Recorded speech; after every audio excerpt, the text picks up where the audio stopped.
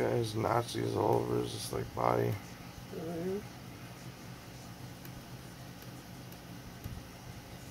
And he also punched me in the back of the head. Cheap shot. Mm -hmm.